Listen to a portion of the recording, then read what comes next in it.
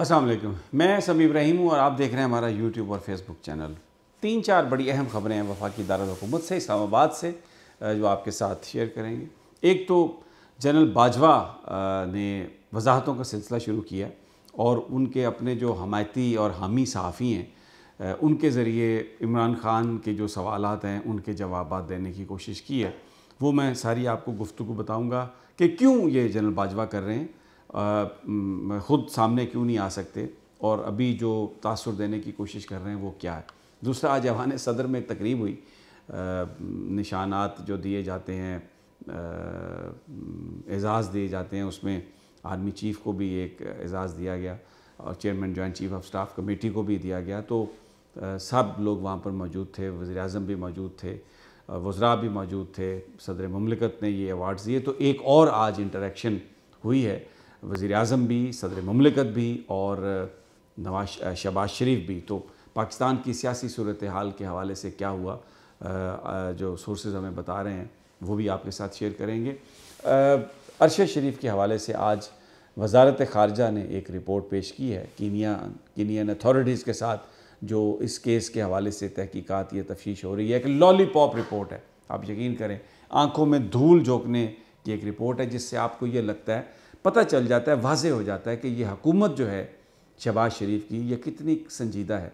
और फिर एक सवाल भी उठता है कि क्यों ना वो आँखों में धूल झोंके, क्यों ना वो लॉलीपॉप रिपोर्ट दे इसलिए कि ये हकूमत ही तो थी जिसने पर्चे दर्ज किए अरशद शरीफ पर और वो यहाँ से भागने पर मजबूर हुआ।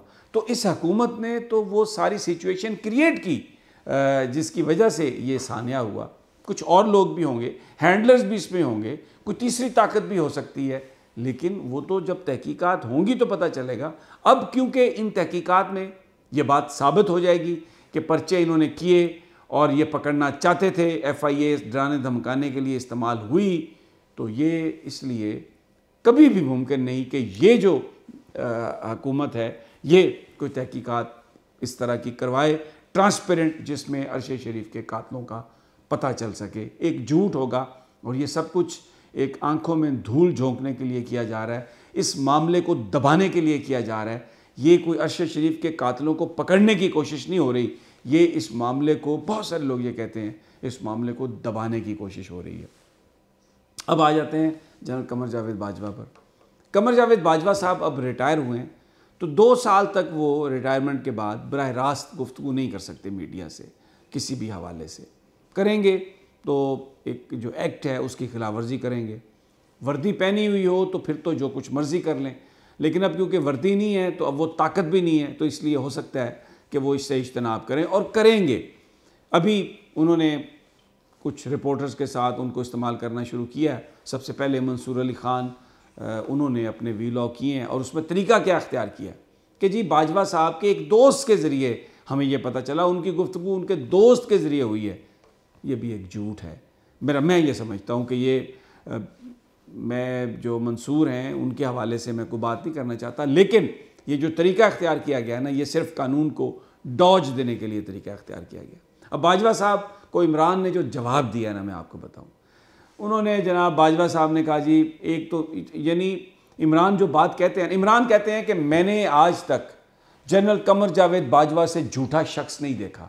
जितने झूठ वो बोलता है क्योंकि जिस वक्त ये वो नवाज़ शरीफ के साथ भी पिंगे बढ़ा रहे थे और इमरान खान की हुकूमत के ख़िलाफ़ साजिशों में मसरूफ़ थे तो वो ये कहते थे इमरान खान को आगे कि मैंने तो बिल्कुल आप बेफिक्र रहें, हम ऐसा कुछ नहीं कर रहे।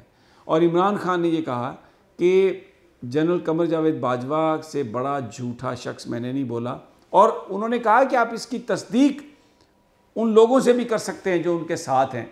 और अपने कोलीग्स को उन्होंने इमरान खान ने यह भी वर्ड इस्तेमाल किया कि उन्होंने अपने कोलीग्स को भी ट्रक की बत्ती के पीछे लगाया हुआ था। हमें तो लगाया ही हुआ था अपने कोलीग्स को भी।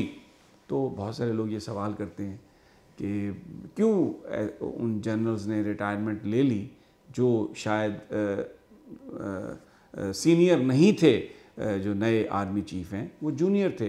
अमूमी तौर पर यह होता है कि जब कोई सुपरसीड हो जाता है बंदा तो वो इस्तीफ़ा दे देता है। लेकिन यहाँ पर ऐसा नहीं है। जो जूनियर लोग हैं तो वो कोई उनकी जो आ, उनकी जो रुखसती है वो बेसिकली उसका ताल्लुक जनरल बाजवा के झूठ सच से है। इसके अलावा उसका किसी और चीज़ से ताल्लुक नहीं। और यही बात इमरान खान साहब कह रहे हैं कि आप पूछ लें आप उनके किसी कोलीग से पूछ लें। फिर एक और जो अब बाजवा साहब ये कह रहे हैं कि जनाब जो मेरी एक्सटेंशन हुई वो मेरी एक्सटेंशन का तो मुझे पता चला, ख़बरों से पता चला टीवी से पता चला। अब आप मुझे ये बता और मुझसे पहले मुझे तो पता ही नहीं था। अब ये जो एक बाजवा साहब कहते हैं कि मुझे एक्सटेंशन का पता नहीं था, आप मुझे ये बताइए कि पाकिस्तान फ़ौज का सरबराह हो। आईएसआई भी पाकिस्तानी फ़ौज की है मिलिट्री इंटेलिजेंस भी पाकिस्तानी फ़ौज की है।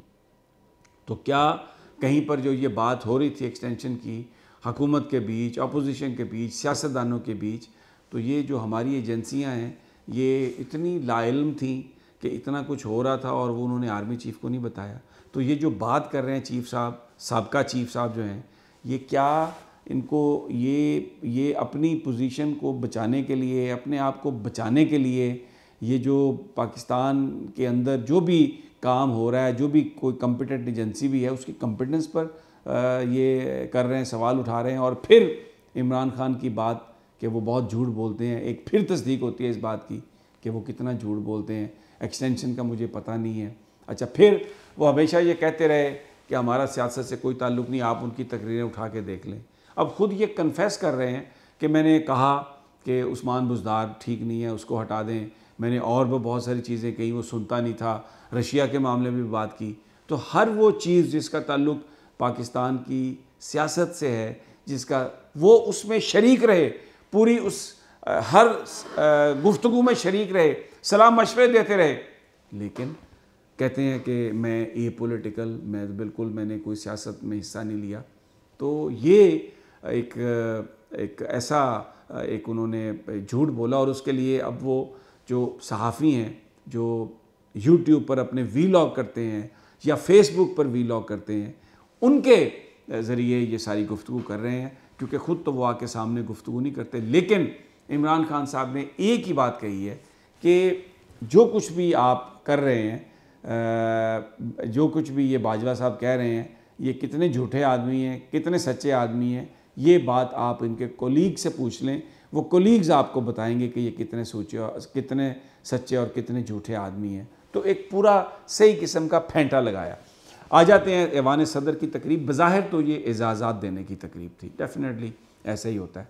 लेकिन उसमें सदर वज़ी अजम और आर्मी चीफ़ और इसके अलावा वो लोग जो बीच में जो गुफ्तु करते रहे वो भी मौजूद थे। कप ऑफ़ टी डेफिनेटली मेल मुलाकातें। तो जो इस वक्त सूरत हाल है, उस पर बातचीत डेफिनेटली और इसके नतज निकलने की उम्मीद है इसलिए कि इमरान खान बिल्कुल ये वाजे कर चुके हैं कि अब वो बिल्कुल भी इसमें अगर 20, 21, 22 तक इसी महीने की कोई हुकूमत की तरफ़ से मस्बत जवाब जवाब नहीं आएगा तो पीटीआई के अहम लोगों का कहना है कि फिर 25 दिसंबर के लगभग ये असम्बलियाँ डिज़ोल्व हो जाएँगी। नाजरीन अगली वीडियो तक इजाज़त दीजिए जल्द मुलाकात होगी। अल्लाह ने के बाद